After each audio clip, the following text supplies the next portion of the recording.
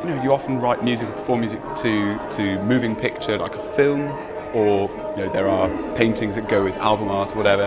And what we're trying to do with this is show the creation process of, of painting, which is traditionally displayed in a static way.